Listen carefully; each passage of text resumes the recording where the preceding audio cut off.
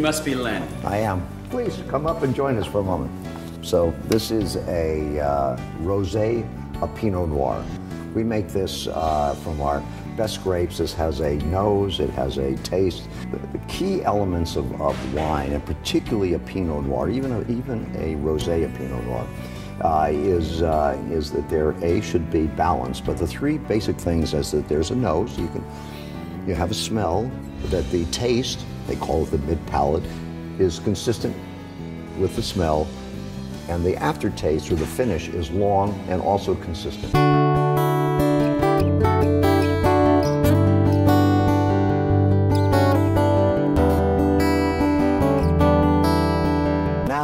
We can enjoy the uh, the Pinot Noir, which which is the hardest, uh, often conceived of. I don't want to start an argument with other winemakers or things, but ba- basically, this is generally considered the hardest wine to make. It's a very thin grape.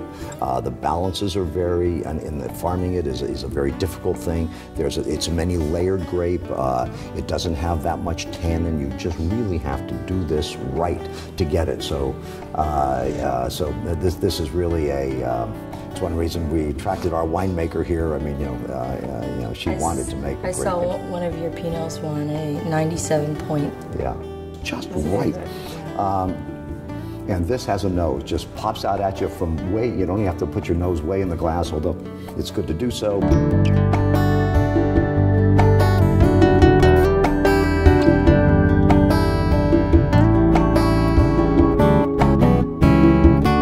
Okay, so what'd you guys think?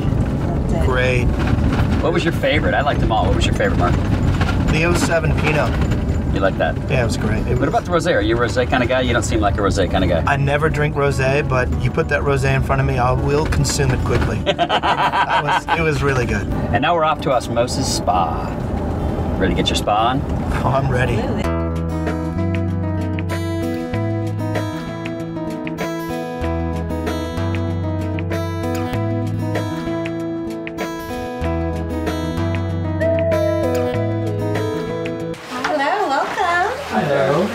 Konnichiwa. I have a lovely tea service for you today. This tea that I'm going to serve you actually works in conjunction with the enzyme bath. It's a nice part of your treatment. So what can you tell us about the enzyme bath? Neither one of us has done this before.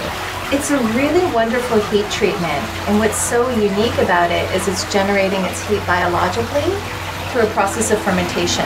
The bath has over 600 active plant enzymes that are catalyzing the different woods in the bath to undergo a fermentation process, and the heat is a byproduct of that process.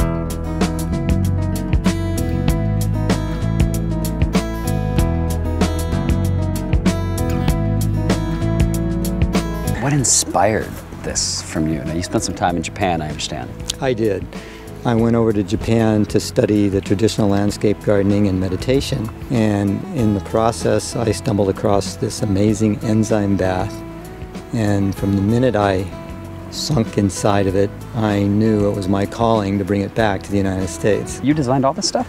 Well, actually, um, I collaborated with some fantastic uh, associates to do this, uh, including Robert Ketchell from England, who's one of the preeminent Japanese landscape gardeners probably on the planet right now. Nice. And Steve Stucky, who is a Zen priest, landscaper, now head of San Francisco Zen Center. So we, we had a lot of intention to create a meditative environment here. Your massage therapists are wonderful, and you can actually have massage in a pagoda or in a standard massage room, right? That's right, and uh, we're really happy to have been working for 25 years now with an absolutely fantastic community of very gifted healers who are really motivated in their own personal development as well as their own massage technique to really uh, create the most elevated and profound massage experience you could imagine. We've had a great day. We started our day with wine. We took a little break for the osmosis spa, which was amazing, and now we're back to wine, but I need to say, arigato gozaimasu. Do itashimashite.